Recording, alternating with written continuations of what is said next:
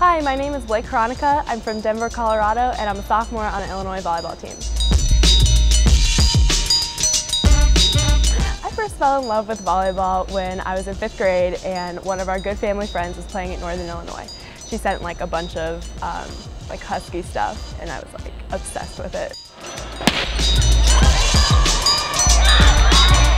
The best part so far is just getting to know new people, like learning new things about the USA, being in different places. I'm really looking forward to the level of competition in the Big Ten. I'm so excited to play in Huff. It is just packed and it's so much fun. The energy is unreal. So I'm really excited to be a part of that. My playing style needs to be fast because I'm not very tall. Um, so I'm hoping to be able to bring that element this year.